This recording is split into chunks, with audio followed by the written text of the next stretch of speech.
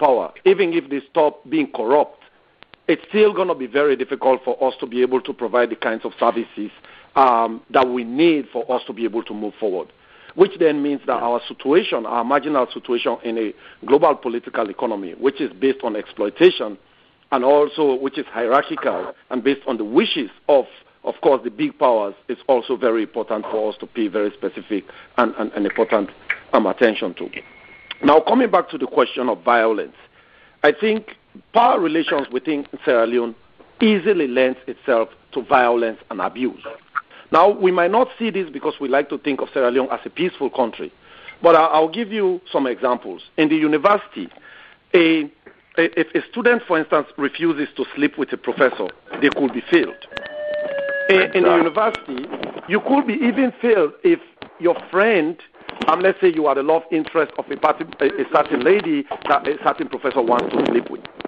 And so there is this abuse, um, and that was precisely what led to the to, to the war. The expulsion of a bunch of students in 84, 85 was actually the moment in which um, some of them decided, oh well, now let's go and, and start training. So in Sierra Leone, whether it is between the state and demonstrators, and that has not changed. Recently, we saw miners who were protesting against conditions of service were shot by, by, by, by state security officers.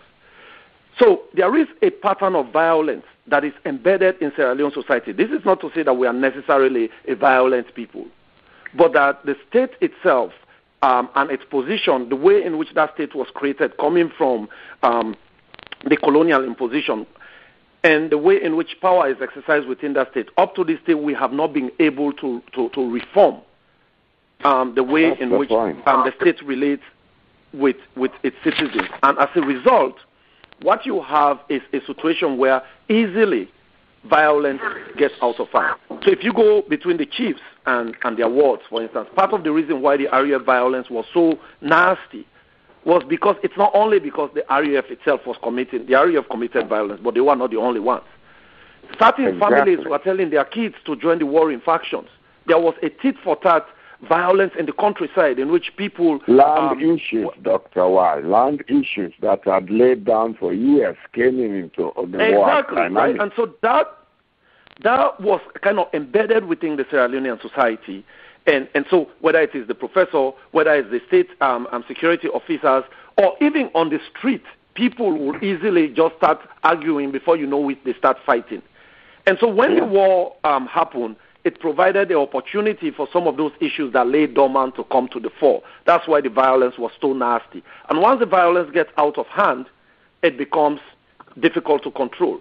But also, it is Yeah. we know that normally um, insurgency groups that are trying to overthrow or fight an authoritarian regime also end up mimicking the violence that they are fighting in the first place. That's precisely Yeah. what happened with the RUF. So to end this, I think we need to look at the, the, the, the social relations, the power relations within the state, how we react to each other. What does the state do, for instance, when people are just protesting for basic, better condition of life? Do we bring the, the paramilitary to shoot them, or do we try and negotiate with them? And I think it's really looking at the nature of the state, the type of violence that is embedded within that. Um, I think it's also very important to the conversation that we are having as a way forward. Yeah. Thank you very much. This is the debate from Voices of, from the Diaspora Radio, and we have been unpacking the lessons of Sierra Leone's decade-long civil war. At this point, we shall take a break. Thank you.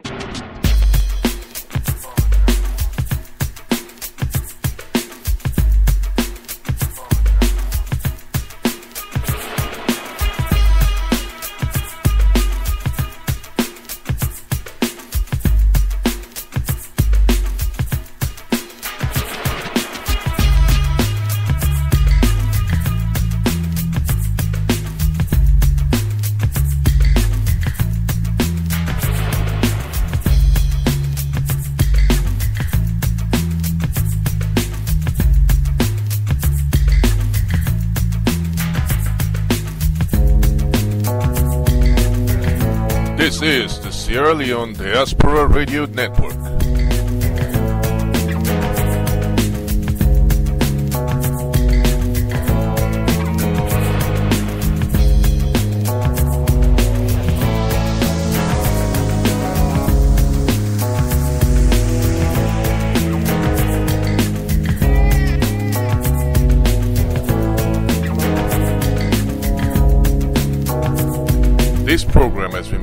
By African Sports Monthly magazine, a digital online sports magazine for Africa covering all sports disciplines across all of Africa, bringing you insights into the inner workings of sports across the continent.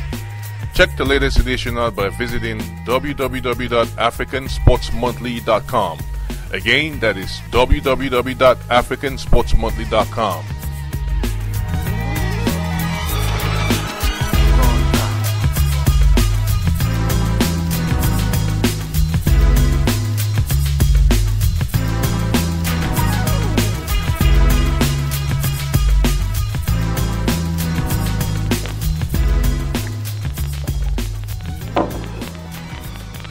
Welcome again, viewers, to today's discussion on Sierra Leone's decade-long civil war, unpacking the lessons. Now we shall take a final rundown, and I will ask um, my panelists to to summarize what they think the lessons are, and probably to state what what is the recipe for a future stable Sierra Leone. Starting with um, Ms. Claudia Anthony.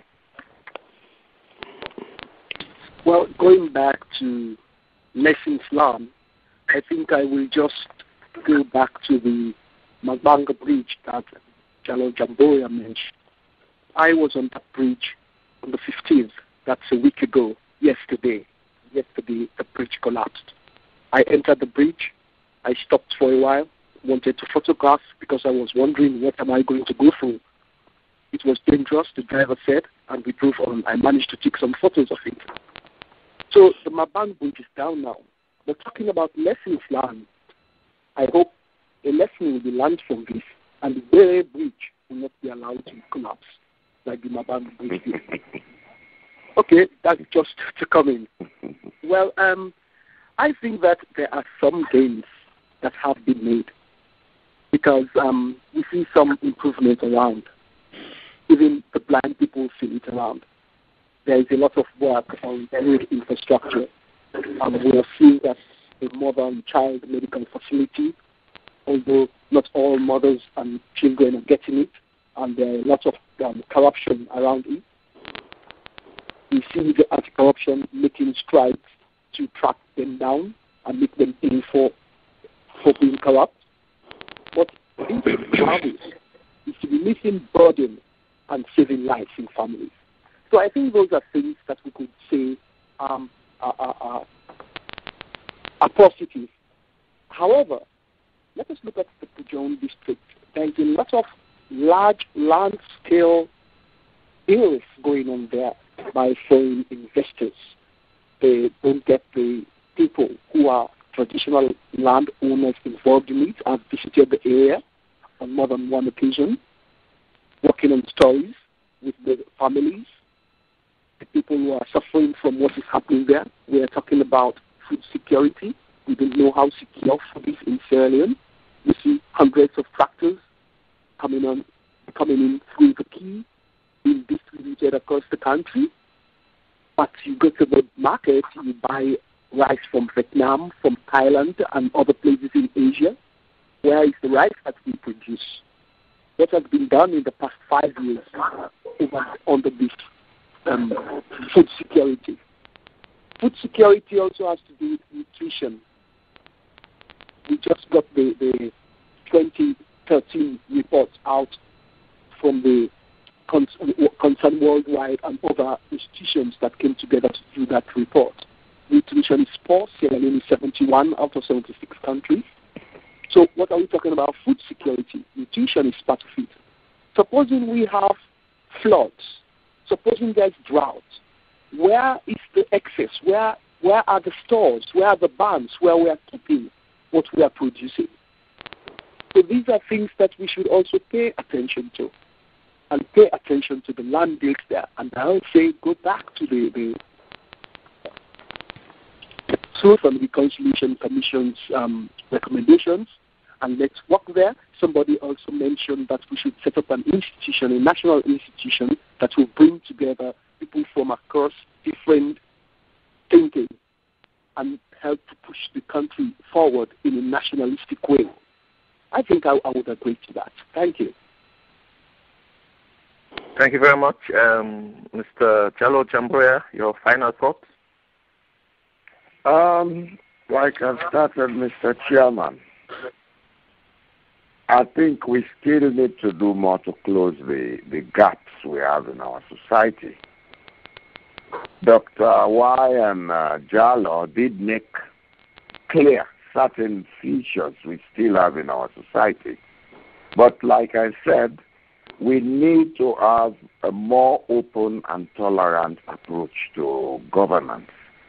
What I would add to what I had already said is that we must find a way to make our public administration, by which I mean the non political side of our public administration, more committed to developing the nation than to the political party in power. We should more or less try to find a way to make our public administrators non political in their functions. Because this is one of the biggest issues we don't normally tend to see. But these are some of the things that cause some of most of the problems because when one party is in power, those in support of that party who are not who, who are not in the mainstream of administration may not want to do their jobs according to how they have to do it. On the other hand, also, when a party is in power, those who are not in support of the, the party in power also do not do their jobs according to how they should do it. And the effects of these we see in the breakdown of infrastructure and a lot of other things. And in the end, it leads to a lot of um, problems resulting in economic, social, and other issues that may lead to disgruntlement as we see happening now in our society again. A lot of gains were made after the war, but immediately there was a change in, in governance. We see a lot of changes happening that more or less are like taking us back. We need to ask why. Is it the politicians that are responsible? Is it because of increasing corruption? Or is it because we have a public administration that is nonchalant to the party in power? That was why I mentioned earlier that we need a national policy body that will incorporate all the political parties as well as the institutions that have been set up by the, the past government. We really need to be open and tolerant with ourselves, or else we are going back to war. Thank you, sir. Thank you. Dr. Jalloh, what are your final thoughts on lessons learned? Yeah, well, basically, I will zero in on three points. First is on the soft side, something that uh, Dr. Y has been pushing. We need to revisit the exercise of power in Sierra Leone in such a manner that it promotes inclusive political dialogue and enhanced state society relationship because that is where political stability lies. The second is on the hard side, like Jalo Jambore has said, improve state capacity. You know, like we were just talking about violence. Addressing violence in Sierra Leone will depend on the fortunes of the state. It will depend on the capacity of the state to deliver justice, effective policing, and security. We also need to address the inequitable distribution of resources. You know, but the final point I want to make is we need to move beyond looking at the country's challenges from a partisan and ethno-regional lenses. Sierra Leone is too small.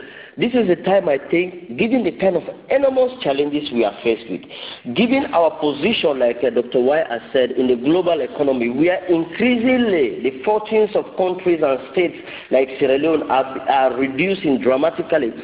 We need to forge a consensus around how to move the country from the state of weakness it finds itself today to a state where it can deliver good governance and development. And to do that, you really need to build that crop of Sierra Leoneans that will look at the country's challenges beyond simple partisan and ethno-regional lenses. Thank you.